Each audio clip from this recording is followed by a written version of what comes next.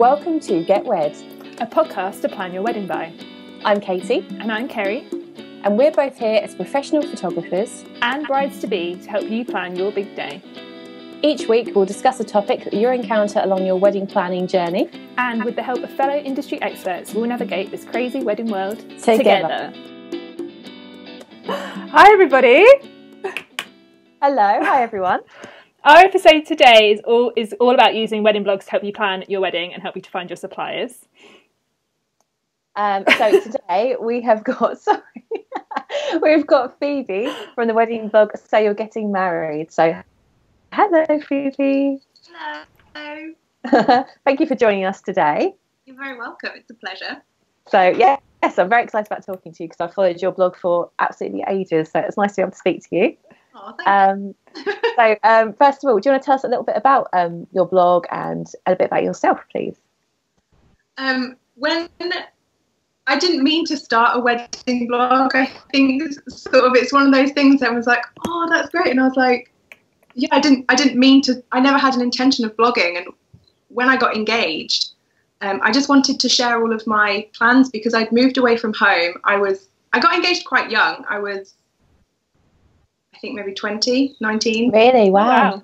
Um, and I'd moved to Leeds. I'd left all my friends and family, and no one else my age in my year group family had got engaged. I was the first one, so I really wanted to kind of keep in touch with them. And I just started writing a blog from my mother-in-law's bedroom in Leeds, and that's that's how it started. It's not this kind of I'm a I I don't I've never thought of myself as someone that enjoys writing. I enjoy blogging. I wouldn't say I enjoy writing. I enjoy Yeah. the chatty side that, that blogging is. But that's how I started. And everyone always asks, "So how did you start?" And it was kind of it was it wasn't an accident, but I never knew that it'd get to the place where it is now. Yeah. And um, can you just describe a bit for people who don't know what wedding blogs are? Although I'm pretty sure the world knows what wedding blogs are now. What what it is? So each, usually each day, if we're being good, there are um, real weddings, and our bread and butter will be photographers submitting real weddings that we blog. We leave all of the suppliers. We have a questionnaire from the bride and groom, so they can give all of their insights into their day, any tips, wisdom that they learned. Um, and then on top of that, I will blog about the other aspects, personal sides of wedding planning, such as problems with budgeting or any of the things that's sort of on top of the pretty things. And then we have Rebecca, who covers everything to do with honeymoons and travel. And then we have Emily, who blogs about everything to do with um, beauty and. That's just Phoebe's little dog. Who's- no, This girl. no, don't, don't do this. He's outraged. He's not part of the team. He's just like, what about me? yeah. About it. He's gone. He's gone. He's gone. Um, and there's Emily that blogs about everything to do with beauty, wellness, skincare, sort of looking after the outside and inside of your body leading up to the wedding. And then there's bits and bobs in between. There's just because just because you're planning a wedding doesn't mean that you don't care about other things. Mm. So sometimes I'll do house updates or my favourite lipsticks and stuff like that. It's kind of evolved into a wedding and a lifestyle blog because I think people just like to read lots of different things rather than just weddings. Yeah. Yeah. Finished? You could? He's made himself known. He's happy now. Yeah. Yeah. Um, and what would be kind of your advice, like the best way to, to start using wedding blogs and, and what to kind of do if, if you are getting married, do you reckon? I think there are so many wedding blogs now. When I first started, I think there were maybe four or five in the UK. There were a lot more in America.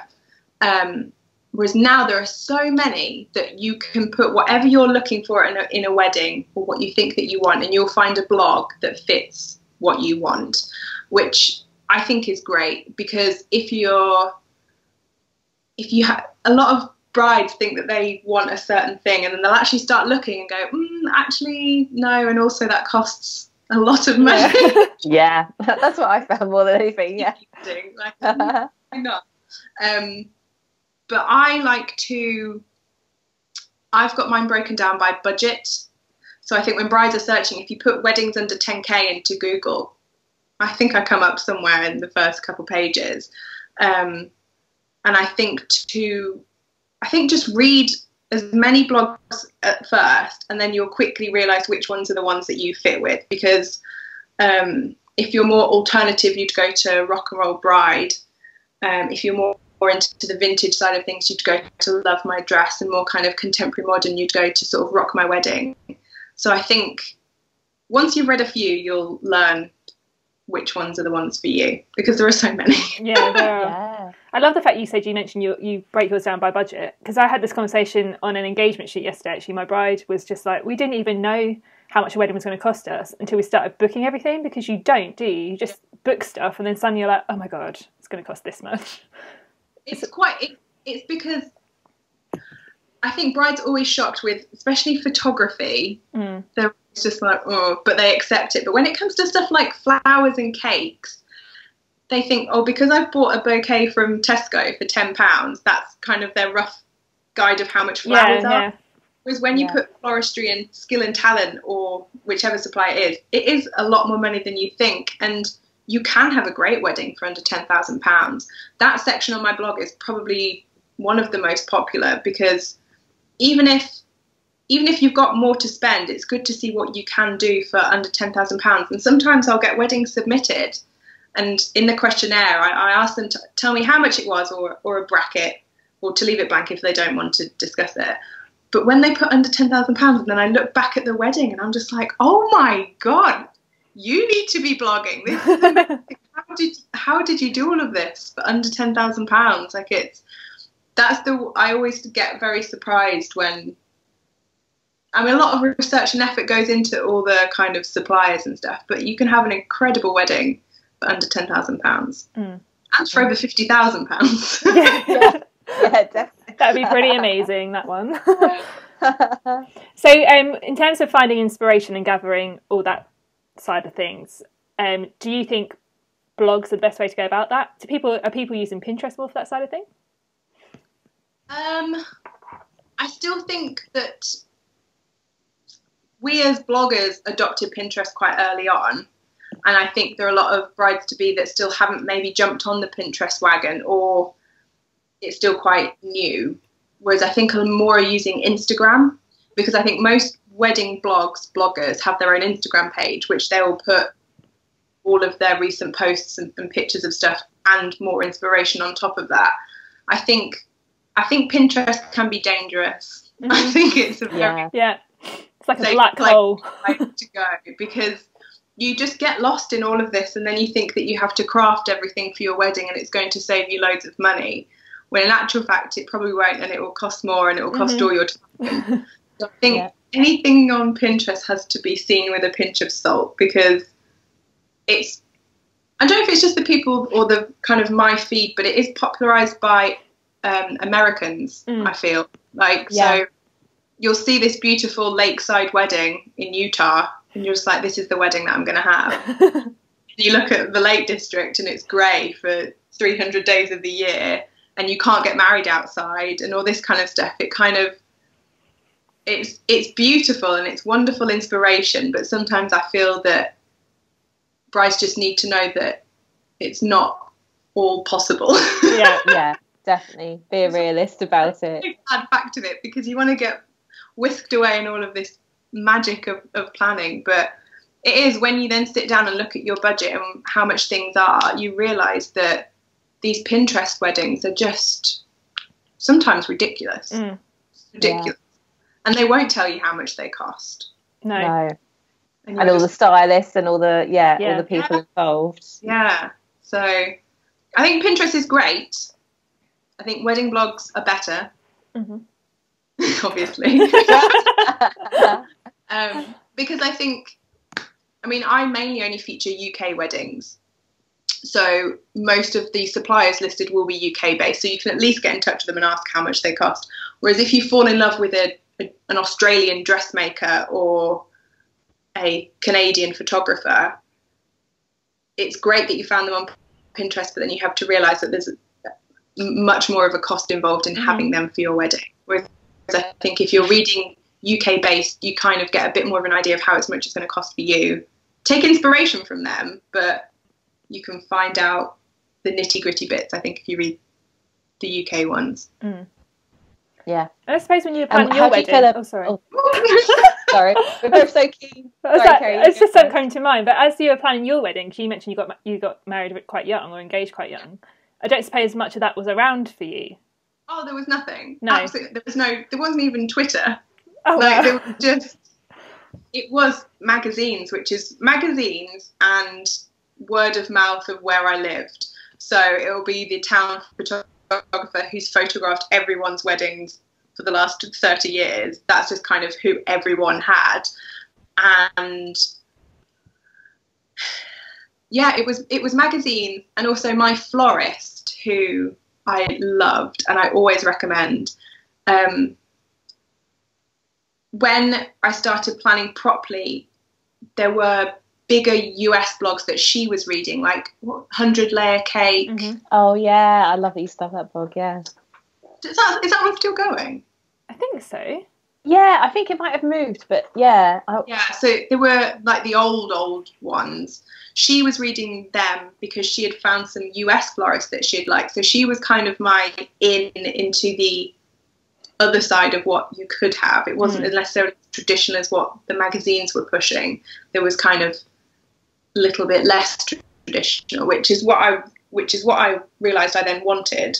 And then it was a matter of trying to find things to fit in. And even we got married in 2010, and even then there was hardly anything. It was all still very, very traditional. It wasn't. It wasn't like it is now. If I had to get married now, I'd be screwed. I was just because, about to ask you that. yeah, it's awful. I hate looking at all this stuff every day because I'm like, I want that for my wedding. I wish I'd had this. And if I had to get married tomorrow, I would struggle to plan it because there's so much mm. choice mm. now, which is great.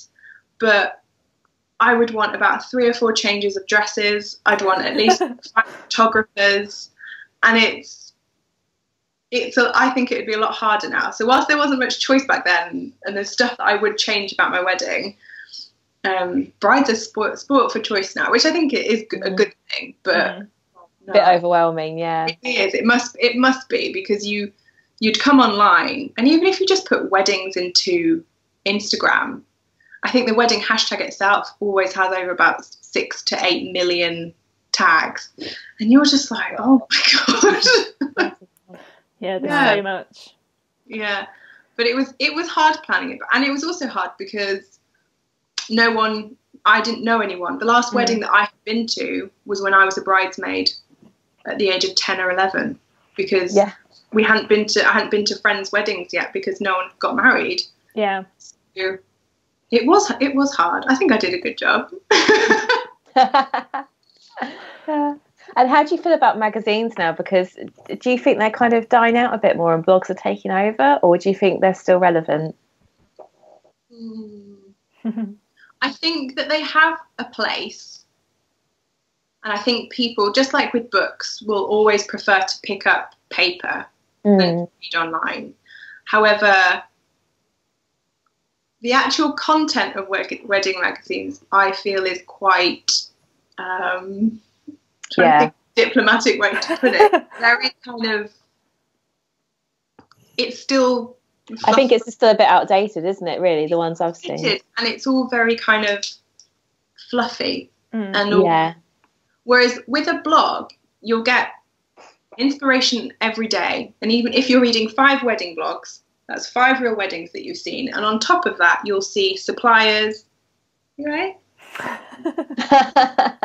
you'll see um, different suppliers, competitions, offers. And then on top of that, there will be bloggers that have shared a post, perhaps, of someone who had lost their father before a wedding or how to cope with stress and anxiety before mm. a wedding. You don't really read those things in wedding magazines. They do keep it very vanilla. Yeah, and it's very light and happy, isn't it? All wedding magazines. I mean, some people will want that, whereas I don't. I would prefer to read about other things mm-hmm. rather than the fluffy things. And you have to remember that the, the magazines are mainly pushed by advertising. So Yeah.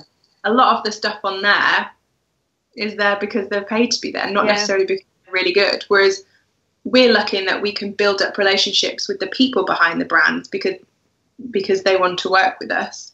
Um, I don't have advertising on the blog anymore, so if I'm promoting something, it's usually because I just really like it, Mm. or Yeah. offered me millions of pounds.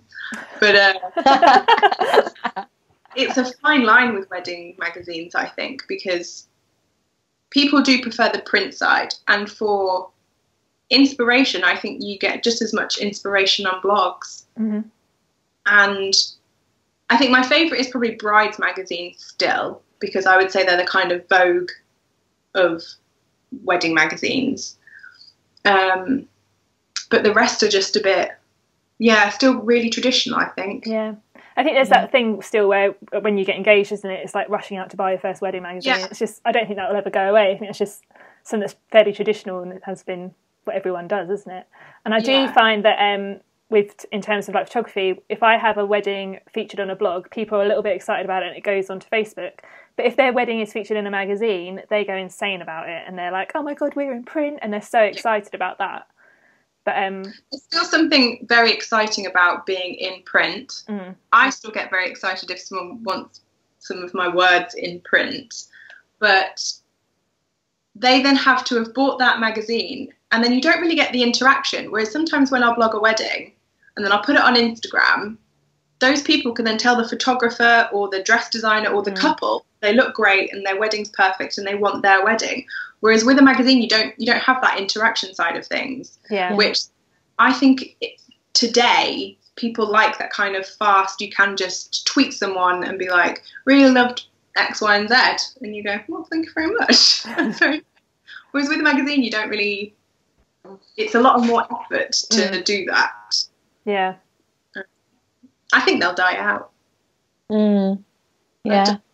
I think the big ones will stay. It's a sad fact, isn't it? Because I was trying to think when we were preparing for this interview, the last time I actually read a magazine, and I can't remember the last time I went out and bought a magazine for anything. Yeah. I buy interior magazines. Like I have a whole Yeah. them. No, good living I don't mind. And it's not too all the others are just ads though, aren't they? I remember Yeah. you know you, you buy it and I just be like, it's just ads. It's driving Yeah. me mad. There's nothing in here. Mm. Like because with the interior stuff, I I'm going there for the kind of styling and the bit the bits and bobs that I can then do. With a wedding magazine, if you go for the styling, I always feel that it, it's maybe like a few fair months behind because Yeah. it's already been on several wedding blogs because print is so slow. Mm. mm, Um, I whereas guess yes, but there's lots of interiors blogs, but for some reason, I don't know. I just like the shiny pages. yeah. I think interiors magazines get it right as well because they're curating a subject, aren't they? Sometimes, like it'll be around like a certain time of the year or something, and everything in there fits that styling. And sometimes Yeah. wedding magazines are trying to cater so much for all times of year or all types of weddings that they're not actually narrowing it down Mm. enough. yeah. yeah.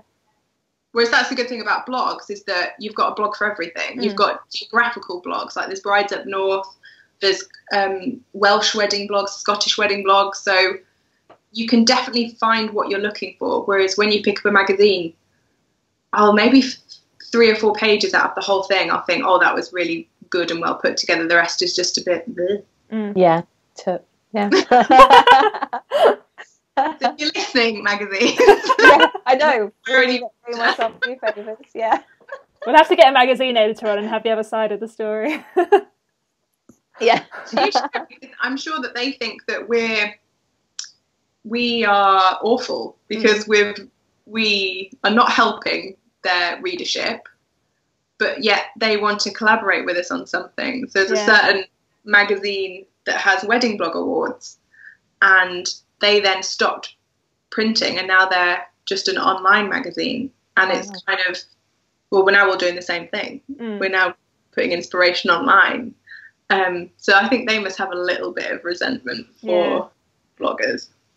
it's so it must be so hard to keep. Sorry, we've turned in this, this into a completely different subject now, haven't we? But um, because there's so much free content out there with wedding blogs, it's going to be incredibly hard for a wedding magazine to keep up anyway, isn't it? Because you've actually got to go and part with money to kind of get information you, get, you can get for free online. So This is the thing. It, it's we are offering free media, daily free mm. media, which most magazines are monthly or sometimes don't know quarterly. Mm. Um, so then you have to wait. So if you've just got engaged, you you pick up last month, so you wait for next month. Whereas if you just got engaged, you can sit and read tens of wedding blogs from your laptop mm. or your tablet, which I think is I think it's much better. I think brides would prefer it. It's less effort and less money. Mm. Yeah. Don't. And I think the nice thing about your blog as well is it's quite personal, so you kind of get to know you and the person sort of behind the blog. Yeah. And um, one of the stories I really liked that, that you did was about your engagement ring, and that really kind of interested me. So tell us a bit of a story about yeah what happened with your your engagement and your wedding ring actually. It's one of those things that at the time I was umming and ahhing, but people still ask me about. Yeah. I changed my wedding ring, and I didn't think that it was going to be that much of a big deal, but. it was to me because it was my, it was mine, but I didn't think other people would care that much. But people, I put it, I first put it onto Instagram, a picture of my current wedding band and engagement ring, and I said that I was thinking of changing it, and the amount of people like, "Oh my god, no!" that's that's the ring that you got married with. That's the ring that your husband chose and proposed to you with. And I was like, no, I, I appreciate that, but I was very young, and he was very young when he chose my engagement ring, and that was at the age of 21. And then I was then 27, 28, and my my tastes have changed. Mm changed. I've changed. I wanted something less blingy and just a little bit more suiting to me now. And I asked Michael, I said to him, Would you mind if I got a new engagement ring and a new wedding band? And he said, No, that's fine. Like he he he didn't hold anything sentimental on them. So I started looking and then I found what I wanted. But it took me a year from finding it to actually buy it because really? there was part of me that was still kind of like because I had the intention of selling my current set and using that money to put towards a new one. Right. But what actually happened is that I've kept my current set and then I just bought new ones because there is a small part of me that does appreciate the sentimentality yeah. behind them because that was the ring that the vicar gave to us, and that was the engagement ring that he saved up and he chose and he bought when he was young. So I have kept them. I was going to get rid of them, and then when I got the new one, everyone was just like, "Oh, this is this is this is really pretty," but do you not feel that this? Because I've now got a gold. It's two diamonds and it's got morganite in the middle, which is a kind of pinky bluey, peachy changes mm-hmm. with the light people now think that this is more of a fad and in 10 years time will i want to change this oh really yeah so i was because my first one was platinum just with three diamonds which that, that's a classic mm. engagement ring it was just a platinum wedding band so my mum maintains that i'm probably going to change my mind in five years time and then i thought well so what if i do yeah you just keep swapping yeah. back and forth i'm married i'm still engaged i was still with him, and it's just a, it's just a ring. It's just a symbol of what it is. Mm. Um, but I didn't realize how divisive that was going to be because yeah. No one else that I've spoken to has changed theirs. But the amount of secret messages I got from girls who said, "Oh, I'd love to change my ring, but my fiance bought yeah. it for me. It's just not what I would have chosen." I was like, Give oh, it no. six years and see if they care yeah. I think that must be such a common thing because I, I was lucky that me and uh, my fiance went shopping for my engagement ring together. So he proposed with a cheap ring from Argos and then we went and picked the ring together. Yeah. So I have still got the Argos ring though. I did keep it. So I was sentimental. like sentimental. But it's like five sizes too big, it doesn't fit. But um, yeah, going out and picking that ring together was a really nice thing to do. And I think so many people must end up with a ring that is fine because it was picked for them, but actually they would never have chosen it themselves. It is. It's one of those things, and at, at the age of at that time when he and I would have only had magazines and jeweler shop windows to look in, there wasn't that much for engagement rings either, and it was all kind of like you had to have a traditional engagement ring. Mm. Whereas I've now got something that I don't think I'll ever see because this is from America that other people around here will be wearing. Yeah I quite I quite like that, and I would have liked to have sat down with him and just looked through lots of different things. Whereas I think he he would have just been like, well, this is what girls get engaged with. Mm. And actually, the jeweler yeah. that we got our, my ring from um, said to us that when he gets men coming on their own, he pushes them towards just a traditional band with like one diamond because yeah. it's the safest option to go it for. A, it is a safe option, and it does always look timeless and pretty. Don't yeah. get me wrong. Um, but it was just, yeah, it just then wasn't me. And I have a I have a signet ring that I've got for my twenty first 21st or 18th that I wear on this hand, which is gold. And then he had bought me platinum. So it kind of just grated on me that they weren't the same metals. Mm, yeah. For like five years, I was like, I, I never asked for a gold one. That's the thing. I didn't ask for a because he wanted to choose it himself. Mm. So yeah, it was. It's something that I do get asked about like yeah. often, and I feel kind of I feel bad for the girls that are just sat there with these rings that they don't like, and I've just gone, oh, look at my new ring. yeah, well, got to sort it out, haven't you? I guess if you if you wanna. it's just a ring. It is just a ring, and I don't see the problem in changing it. Mm, yeah. At all. A lot of people do, but I don't see the problem because it's what it symbolises more than what it actually is. Yeah, as long as your husband doesn't mind, that's the main person, isn't it? So if he doesn't mind, then why not? Because you're the one that's got to wear it. Well, Very yeah, yeah, yeah, yeah, yeah, No, exactly. yeah. Uh, okay, so, so getting um, back towards wedding blogs now that we've had that story, I was desperate to hear about that. That's good. Um, so obviously we're in 2017 and there's that whole big trend report come about about the types of weddings that we're going to likely see with the, like the Pantone colour of the year being greenery. Yeah. Um, I'm really annoyed because I had all these great plans for my wedding and then I found out I was a wedding trend, so that's great. Um, but would you like to talk to us about the trends that you are seeing from the blog side of things um, that you hope will trickle down into weddings? I'm very sorry, but greenery. I know. it, it, I think it it started to trickle in last year mm. with lots of um, lots of potted plants and just lots more foliage. And then when they released that 2017 was greenery, I think that's all you're going to see. I think that's all you're going to see for the next couple of years. Will be lots more indoor trees and plants and because greenery is cheaper than flowers as well. That's so, like, why we went for it. Just too ahead of the time.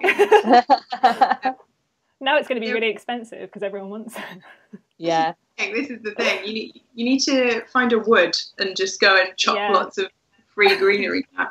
But it's I think it's one of those things that it's accessible to anyone, and I think it suits anyone's theme. So if you're having a barn wedding, a teepee wedding, some kind of Wiccan wedding, it you can put greenery in, and it look. I think it always looks really pretty. I'm sorry.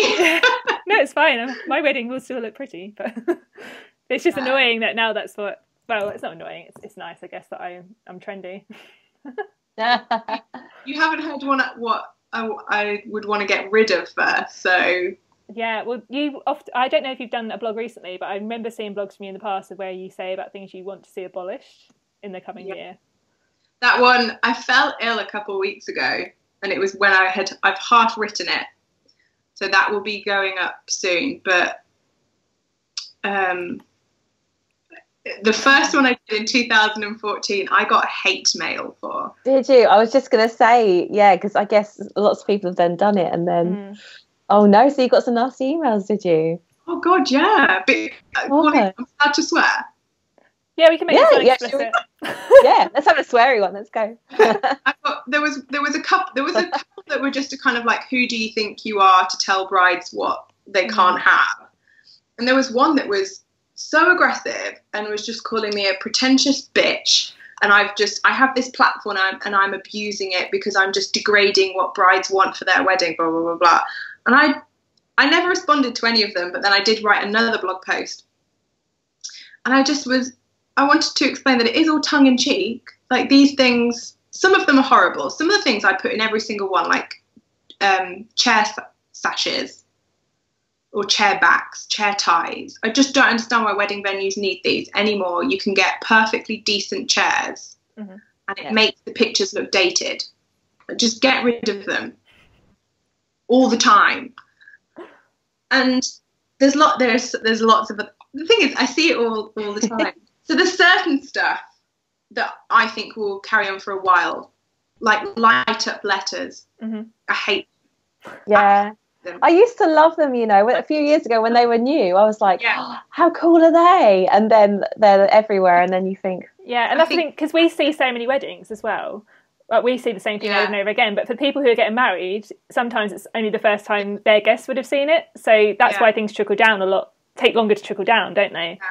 And I find that with when I write the trends post, so I did one last year, no, 2015. I wrote about foliage and um, lots of tree arches and sort of hanging leafy decor, and that's now more popular in 2017. It takes it takes longer for everything to kind of people, and also they may get engaged in 2015 and go, let's have that in 2017. Yeah, yeah, yeah. So longer wait, and by that time I've gone, I hate that. I hate that yeah be having now um, they must hate they must hate me for that but the the abolish ones it's um there's the same ones all the time so swirly waistcoats mm. on men oh yeah like why why I think still... again that's one of those things where they just go into Moss Bros oh. and they've never got yeah. married before and so they're told that's what they should probably have, isn't it?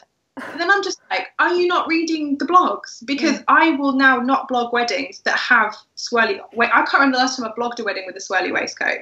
So they shouldn't be seeing these things. It's our duty of care to the bride. They don't need these things in their lives. And it's the same for tails. Like a man, I think a tails waist um, jacket, it has its place. Mm. And it's not at your local hotel. Like I think if you're having a very formal wedding, then yes, but you don't need to go into Moss Bros and, and they give you that. Why can't you just wear a suit? Why can't you wear a suit from next and then wear it again? Like that mm, looks yeah. You can have a very nice waistcoat, non-swirly, and a nice tie, and, pop, and that looks smart. You don't need swirly waistcoats and tails. no, no. Yeah, people just get on that wedding train, don't they? And they think this is what we've got to have. Especially if maybe parents and, and mm. people like that, people maybe not being rude, a bit older and in charge, then you kind of get pushed into that kind of because mm. you know that kind of thing used to put me off getting married. I'd see that and go, "Oh God, I don't want to get married. That looks gross." I think another thing is that it's laziness. I mm. think it's kind of like with the light up letters. It, it does look pretty, so they just think, "Let's just have that." When in actual fact, you could have a look around and get love in succulents or other things. Like you don't need like you don't need light up letters just because you can't think of anything else to have. Mm. Which is where we come in. Like we spend ages trying to give you all this inspiration so that you can have something different. So it it gets hard with trends because I do and I feel bad when I get a wedding in that is really pretty, but I just think it's just it's just the same as lots of others because that's what's in fashion now. Mm. It makes it hard because then you think, should you be doing more styled shoots? Um, because then you can push the direction things go. But mm. brides love other brides' weddings that they get yeah. more than styled shoots do. So mm, right, yeah, more real and more kind of yeah. And there's nothing, you know, there's nothing wrong with wanting the things that other people have had. Like at the end of the day, your wedding, you can do what you want with it. Um, but I think if you're spending that much time and effort on planning something, why wouldn't you want to make it just a little bit more personal to you as a couple, not just have bird cages, light up letters, a sweetheart trolley, and cupcakes? Like you just you don't need to have those things. You can have whatever you want. Mm. Yeah, it's funny because those things were new once, weren't they? Because my mum still thinks cupcakes are really exciting. oh, bless her. Cupcakes is that I feel they never get the kind of icing to bun There's ratio. loads of icing. Loads of icing. There's always icing, and then it just becomes sickly. And then you get to the bun, and you're just like, well, what's the point? Like, what? I hate cupcakes. I hate cupcakes. They should be gotten rid of as well. They're, they're on my abolish list. Yeah, do room 101 and just like trapdoor everything. um, so, kind of moving on from that, you help with honeymoons as well, don't you? So, is it Becky who did you say who? Yeah, Rebecca, sorry, who um, yeah, helps with your advice for honeymoons. So that's really good too because I'm still struggling with that one myself. So you still not gone on honeymoon? No. When did you get married? Um, April last year. So yeah. That's not too bad. That's not too yeah. bad. We had like a little mini. You know, went for like, like a week and and had a nice little time together. But we have not done our big. We just can't decide, and so Mm. so yeah. So I think that that's obviously really helpful, isn't it? So. What would be your kind of tips with maybe? I know that's more Rebecca's side, but what would be your tips on planning your honeymoon? hard because sadly, I think it comes down to budget. I Mhm. think it comes down to how much money you can spend. But I think you need to decide do you want to go somewhere straight after the wedding or do you want to wait? And I think a lot of people use a honeymoon to do their dream holiday. Yeah. Go places they have always wanted to go, do things that they've always wanted to go. In which case, that's a whole add on of planning and budgeting on top of your wedding Mm, if you've got the time and the finances, great, add it on. But I think have a little getaway afterwards, and then when everything's all done with the wedding, sit down and plan kind of your dream honeymoon. So whether it's a few months later or a year or a year later, yeah. I think I don't think it matters. You won't have the same buzz of like, oh, we got married yesterday and now we're in Sri Lanka, but yeah. it'll still be it'll still be an amazing holiday but i think it, it comes down to when you want to go and how much you want to spend because it's very expensive mm. especially honeymoons Yep. and yeah i think it's definitely when when you want to go and where Yeah. Yeah. I think, a- I think a- you, can- you sit down and it's like we can go anywhere we can go anywhere in the world where do you want to go Yeah. yeah. That's what we're getting to. He wants to go to one place and want do one thing, and I want to do the other. So it's like, what do you do? Like, You'll have to have separate honeymoons. That's, that's a good idea. Yeah, I just go on my own. FaceTime the entire time Yeah. because there's usually free Wi-Fi if you go to these resorts. There's always free Wi-Fi. So you just FaceTime each other. It'll be fine. Done. I think Yeah, loads of people too do that that. I I'm found- sorry. Oh, sorry. You go, you go. Um, I was going to say also, I sort of found that all the places I did want were ridic- yeah, ridiculously expensive. So I was Mhm. like, oh, we can't do that. So yeah, it's it's really hard. What were you going to say, Kerrie? I was just saying about how n- near enough every bride and groom that I meet now do the mini moon thing. So they'll go away the week after the wedding or like for a long weekend after the wedding or something, Yeah. just to have that break, and then they all plan to do something big later on. Yeah. Um, I think it's doing. important to go away after the wedding because you don't realise leading up just how awful and stressful and just exhausting it is. Mhm. And even if the day itself is wonderful, you start really. I mean, I woke up at about five thirty, six, and had all my hair done and everything, and then you it's just go go go all day, and you don't realise how much effort you put into talking to people and looking mm-hmm. happy. yeah. kind of it's genuinely exhausting. And then usually the next day, we had people that had travelled from far and wide. We didn't just want to go because they've come all the way here for the wedding. We wanted to stay the next day and say hello to everyone, which we did do we- and was great. And then we went for a mini moon because it's important to have that downtime just to be like, oh my god, like we got married Mm. yeah. rather than I think if you were to then having to go back into your mundane normality of life, I think that would be Yeah, like soul- back to work. Oh. Yeah. like you definitely need something. Yeah, I agree. And you're like you're knackered, aren't you? I didn't realise how tired I'd be. I was exhausted. Like even the woman who checked us in this little cottage we were staying in was like, "Oh, you look very tired." And I was like, "Yes, We're now going to sleep for three days solid. yeah. so yeah, I think I think that's that's really good advice to have a little mini mini break. Mm, definitely. And don't put don't put pressure on it. It doesn't need to be somewhere wonderful. It just needs to be away from other human beings. Yeah. Just be the two of you for a little while. Like it doesn't need to be magical. Mm, Mm, But yeah, I think that is important. yeah.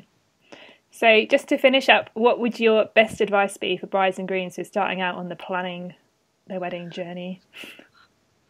I get asked this a lot, like a lot, and I always say just go in and plan the wedding that you want to have, and then if something's too expensive or if something's not available, try and work around it and don't just give in or don't be pressurized by family, especially family, um, because they will have an opinion. And you don't realize this until you get married, but other people no. very much have an opinion on how you should get married. And just don't listen to them, basically. don't. and, and have the wedding that you want to have because when I was planning as a 21 year old, I was listening to my family because they're the only people that could have given me advice. Whereas now, when I'm nearly 30 next week. Oh, um, happy birthday. Oh, early birthday. Yeah. um, I'm much more headstrong. I know what I'd want and what I wouldn't want, and I'd happily say no to people. Whereas I think when you're starting out and everything's so overwhelming, and they're so happy for you, that's the other thing. It's all done out of love. Yeah, they want to just help, don't they? Yeah, they do want to help, but don't let them push things onto you that you wouldn't necessarily want because it's your wedding and there's two of you involved and be respectful of it yeah that it's yours not mm. other people's i think and I, then i think you'll have a wedding that you will truly love and you don't need to spend lots of money. You can go on the blog and have a look at weddings for under 10,000 pounds that's a good plug i like that yeah so true um, though being selfish is the way forward i think yeah it is. and it's not being i mean it is being selfish but it's for the greater good mm. because then you'll be happy and you'll enjoy your wedding day more. Um, and those people that are pressuring, they'll get over it when it's all done and dusted. They won't care anymore. Yeah, yeah. But that's what I found. The one thing about planning, the hardest part were other people. Mm-hmm. And it, we're just like, yes. yeah. it was like RSV, RSVPing to invites or people texting you and saying, "Can so and so come?" and it was just other people made the planning hard, whereas I knew what I wanted to do and all that kind of stuff. And then it was the only hurdles were just other human beings, which just made it very frustrating. yeah. Yeah. Yeah. No, that's very true. do what you want to do.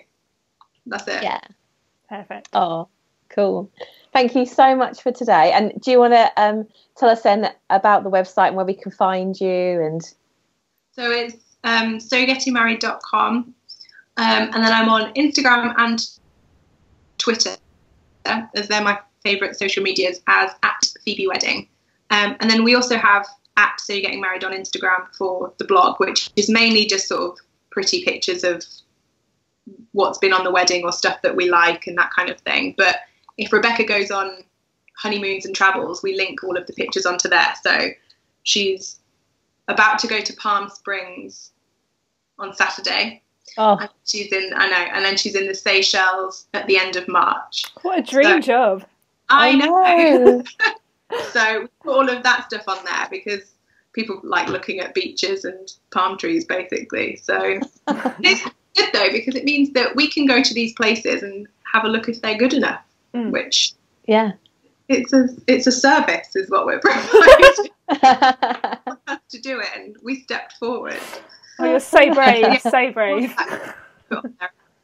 yeah, you're so welcome. Perfect. Well, awesome. thank you so much for your time today, and um, we will let you go.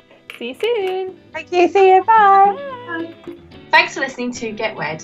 Would you like to hear even more from us? We have lined up some secret Get Wed episodes for our exclusive Get Wed members. To become a member, then go to www.getwedpodcast.co.uk and click on support.